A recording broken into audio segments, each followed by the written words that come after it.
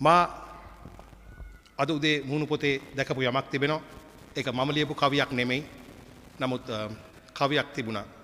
එක කියනවා කපුටු තට්ටක් එල්ලන්නට ගූ ගොස් වූ කාරයා කපුටු රෑනම ගෙදර ඇරියයි ජොන්ස්ටන් ආචාරයා කියලා.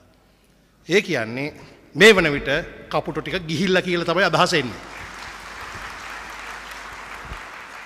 පෙනුමෙන් සහ නමෙන් නම් ගිහිල්ල තියෙනවා නමුත් සමස්තයක් වසයෙන් ගිය නෑ.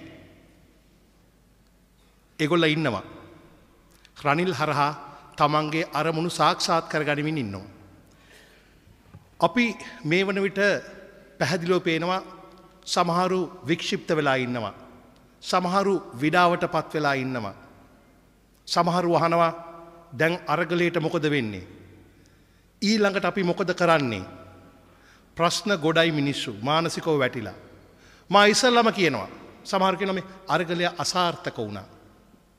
සහෝදරය සහෝදරිය මේ අරගලය සාර්ථකයි. එක සාර්ථක වෙන හේතුවක් තියෙන. මේ අර්ගලය තිබුණ නැත්තං මහින්දතාම අගමැති. මේ අර්ගලය තිබුණ නැත්තම් බැසිල්තාම ඉන්නවා. ගෝටාබේතාම ඉන්නවා. මේ කැබිනට් ඇමතිවරු සියල්ලම ඉන්නවා. නමුත් ඒ ගොල්ලෝ දාල යන්න ආපු පුද්ගලයෝ නෙමෙයි. නමුත් මහජන බලය එතැන්ට ගොඩනගල පෙන්නවා. එක්ලන්ට හැට නම ලක්සේ ජනවරම නෑ. අපි ඔගලව ගණන්ගන්න නෑ. අන්ට සෞදර දැන මාස කීපට නුගෙකොට වේදිකාවද කිව්වා.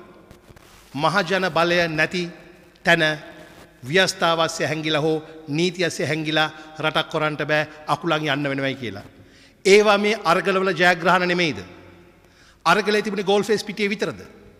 කොළවෙන් පිට වෘතිය සමිති ව්‍යාපාර ගොවිබිම්වල දීවරබිම්වල වැඩ පොළොල්වල ඉති ඒක නිසාම ඉස්සල්ලම ඔබගේ ඉල්ලා හිටිනවා මානසිකෝ විඩා වැන්ඩ එපා මානසික කඩාවටෙන්ඩ එපා අපි ජයග්‍රහණ රාසියක් අපේ අරගලය හරහා ලබාගට තියනව කෙන ගැන සන්තෝසෙන් එක පුඩියක් ගහව.